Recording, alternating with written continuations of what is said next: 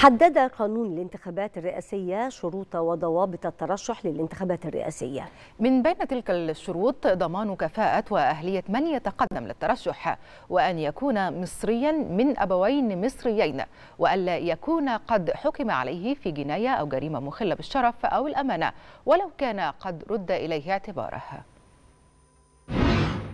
أهلا بكم. الترشح للانتخابات الرئاسية حق كفله الدستور والقانون لكل مواطن مصري. تتوافر بشأنه شروط الترشح لضمان كفاءة وأهلية من يتولى هذا المنصب الرفيع. فطبقا للمادة 141 من الدستور يشترط في من يترشح رئيسا للجمهورية أن يكون مصريا من أبوين مصريين وألا يكون قد حمل أو أي من والديه أو زوجه. جنسية دولة أخرى.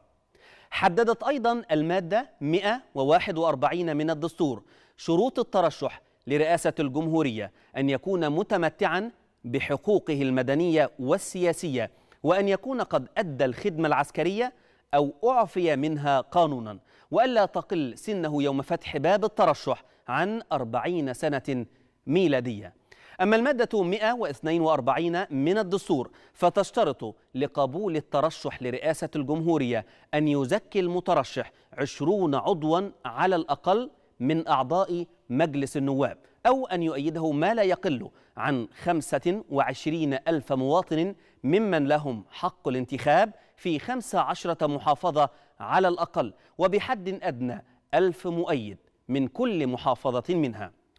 قانون مباشرة الحقوق السياسية حدد الفئات المحرومة من حق الانتخاب والتصويت في الانتخابات الرئاسية أو في أي انتخابات أخرى سواء برلمانية أو محلية أو استفتاء.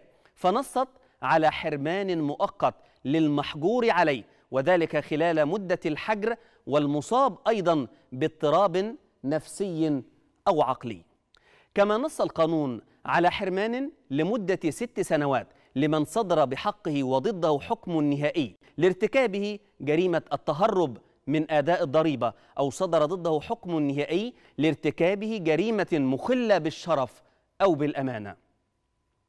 رئيس جمهورية مصر العربية هو رأس الدولة المنتخب وكل من يرى نفسه مؤهلا لخوض هذا السباق فعليه أن يجتاز تلك الشروط أولا خاصة مع تعهد الهيئة الوطنية للانتخابات بأن تكفل لرغيب الترشح في الانتخابات الرئاسية إعمال هذا الحق كاملا متى توافرت فيهم شروط الترشح.